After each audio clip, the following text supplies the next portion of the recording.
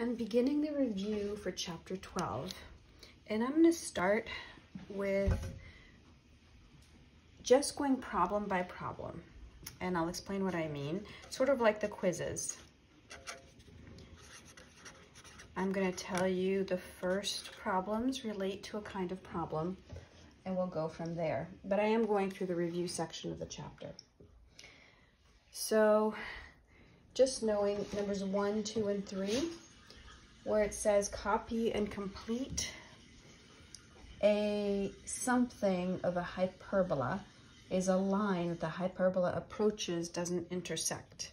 So number one is a something of a hyperbola is a line that the hyperbola approaches but doesn't intersect. So I'm just gonna draw that and I want you to answer that in your heads.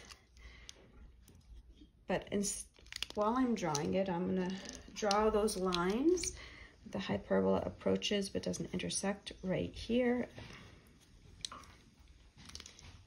And I'm going to draw the branches of the hyperbola.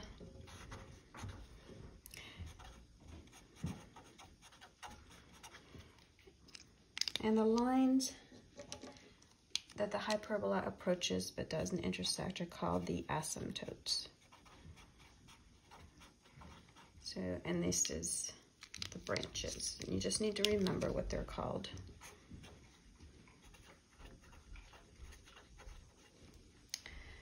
Okay, number two says, explain how you can use the least common denominator to solve a rational equation.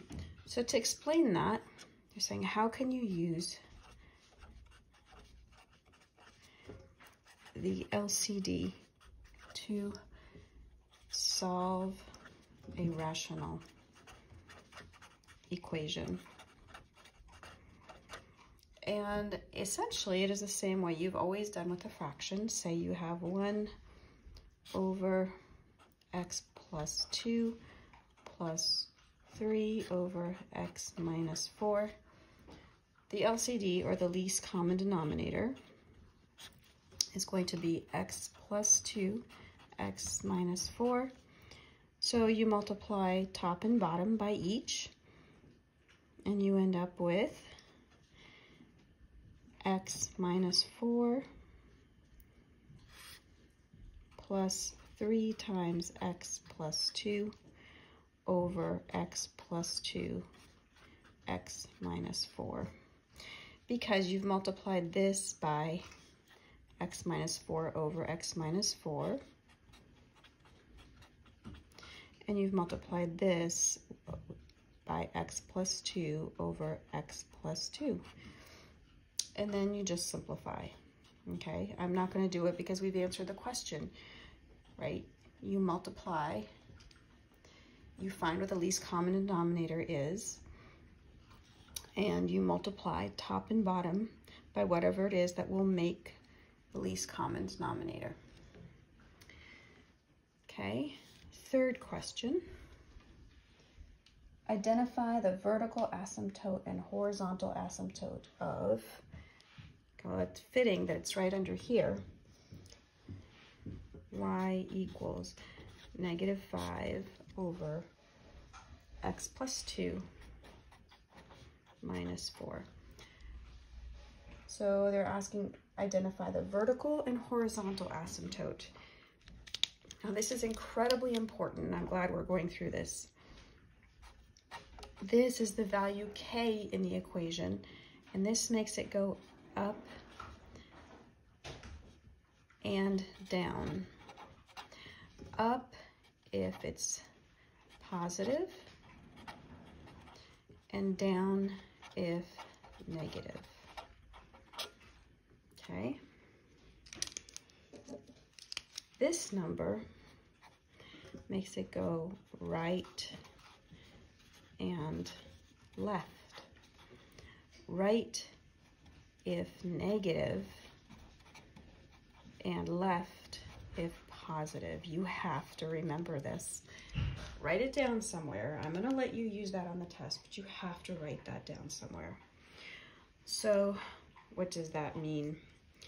On a graph, and we're not going to do the whole graph, we're just going to do enough to write down those asymptotes.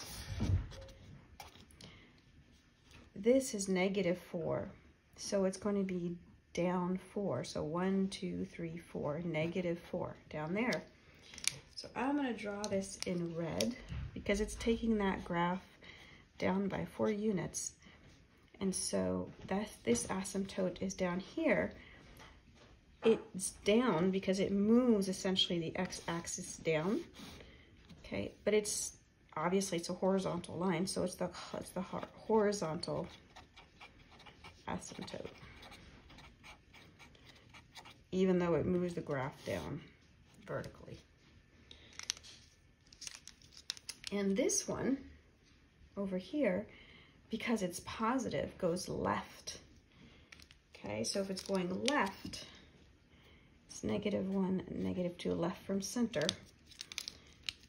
So here is the other one, and it's two to the left, and because of that, it's at negative two. It's the vertical asymptote, because obviously, right, it's moving the y-axis basically, or the equivalent of the y-axis left, so it's the vertical asymptote.